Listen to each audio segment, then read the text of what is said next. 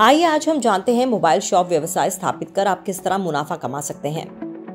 Mobile shop एक ऐसा स्थान होता है जहाँ पर आपको सभी प्रकार के नए और पुराने मॉडल के मोबाइल एक ही जगह पर खरीदने के लिए मिल जाते हैं। कई मोबाइल शॉप वाले अपने व्यवसाय को और अधिक बड़ा करने के लिए पुराने फ़ोन को खरीदने की सेवा भी प्रदान करते हैं और वो इन पुराने मोबाइल फोनों को दूसरे कस्टमर को अपनी खरीदी हुई कीमत से थोड़ी अधिक कीमत पर बेचकर अपना कमीशन बचा लेते हैं। इस तरह के व्यवसाय के लिए आपको कुछ चीज़ों का ध्यान रखना होगा।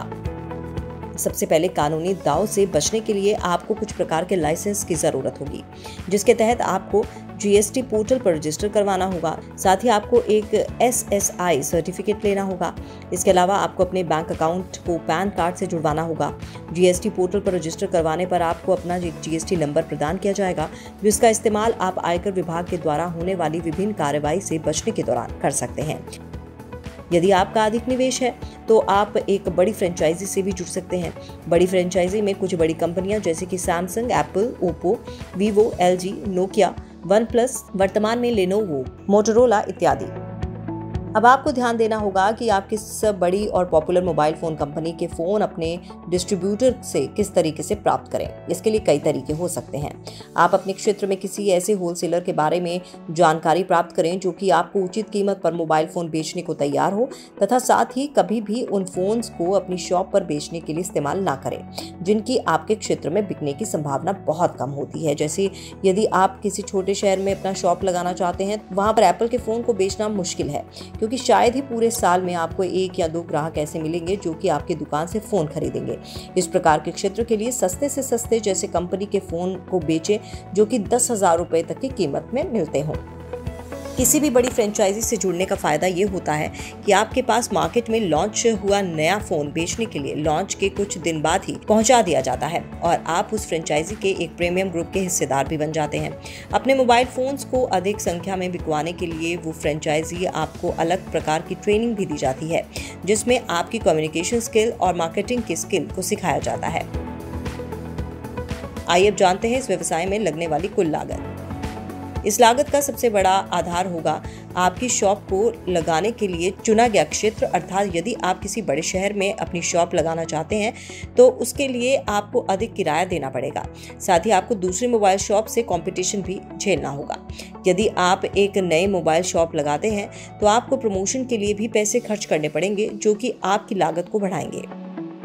हम राजस्थान के जयपुर ज़िले क्षेत्र को आधार मानकर आपको लागत बताएँगे, जिसे आप अपने क्षेत्र के अनुसार निर्धारित कर सकते हैं। इसके लिए आपको एक शॉप के क्षेत्र की ज़रूरत होगी, जो कि कम से कम 300 स्क्वायर फीट की होनी चाहिए। आपको जयपुर में इतने बड़े क्षेत्र के लिए 30 से चालीस हज़ार रुपए प्रति महीने का किराया चुकाना होगा। अपनी दुकान को लगाने के लिए आपको कुछ इंटीरियर सेटअप कॉस्ट भी चुकानी होगी। जैसे कि यदि आप अपनी दुकान में कोई ग्लास स्टोर या फिर कार्डबोर्ड फ्लोर पर लगाई जाने वाली मार्बल लाइटनिंग, इलेक्ट्रिसिटी, सीलिंग का कार्य तथा कंप्यूटर, प्रिंटर और बिलिंग, इन सब चीज़ों को जोड़कर आपको लगभग पाँच लाख रुपए का खर्चा आएगा। इसके बाद यदि आप किसी फ्रेंचाइजी से जुड़ते हैं तो वो भी आपसे एडवांस में कुछ पैसा लेते हैं, जैसे कि यदि आप सैमसंग के ही मोबाइल फ़ोनों से अपने शॉप पर बेचना चाहते हैं तो उसके लिए सैमसंग आपसे 10 से 15 लाख रुपए तक का चार्ज करता है, जिसके बदले में वो आपको फ्रेंचाइजी देता है। फ्रेंचाइजी लेने के फ़ायदे हमने आपको पहले ही बता दिए हैं। इस प्रकार यदि आप इसे एक बड़े लेवल पर शुरू करना चाहते हैं तो आपको 20 लाख रुपए तक का निवेश करना पड़ेगा। परंतु बिना फ्रेंचाइजी से जुड़े आप आसानी से पाँच लाख रुपए से छह लाख रुपए तक मोबाइल शॉप का व्यवसाय शुरू कर सकते हैं। आइए अब हम जानते हैं कि आपको कितना मुनाफा हो सकता है। नए मॉडल के मोबाइल फ़ोन्स को बेचने पर आपका प्रॉफिट मार्जिन लगभग तीन से पाँच प्रतिशत होता है, जबकि पुराने मॉडल के मोबाइल फ़ोन से बेचने पर आपको मिलने वाला प्रॉफिट मार्जिन दस से पंद्रह प्रतिशत होता है। आइए अब एक दिन का उदाहरण मानकर मुनाफा काउंट करते हैं। पाँच फ़ोन प्रति फ़ोन दो हज़ार रुपये कुल दस हज़ार रुपये तीन फ़ोन प्रति फ़ोन आठ हज़ार रुपये कुल चौबीस हज़ार। दो फ़ोन प्रति फ़ोन पंद्रह हज़ार रुपये कुल तीस हज़ार। इस प्रकार यदि आप इस एस्टिमेट को ध्यान में रखकर चलें तो आप प्रतिदिन लगभग चौसठ हज़ार तक के कुल मोबाइल फ़ोन बेच पाएँगे, जिसमें से आपका प्रॉफिट मार्जिन लगभग पाँच प्रतिशत तक होगा, जो कि लगभग तीन हज़ार रुपए तक होगा। कई बार त्योहारों के दौरान आपकी शॉप पर आने वाले ग्राहक भी ज़्यादा होंगे, जिससे कि आपका टर्नओवर और भी ज़्यादा होगा। इस प्रकार प्रतिदिन तीन हज़ार रुपये की राशि को यदि हम एक महीने के आधार पर जोड़ें तो ये लगभग एक से डेढ़ लाख रुपए के बीच में आता है। इस तरह आप छः से सात लाख रुपए तक का निवेश कर एक लाख रुपए आसानी से मुनाफा कमा सकते हैं और यदि आप बड़ा, यानी कि बीस लाख रुपए तक का निवेश करते हैं तो आप आसानी से प्रति महीने दो लाख तक का मुनाफा कर पाएँगे। देखने में भले ही ये राशि आपको बड़ी लगी, परंतु ये मुनाफा आसानी से कमाया जा सकता है। ज़रूरत है तो थोड़े बहुत निवेश और आपकी मेहनत तथा लगन की।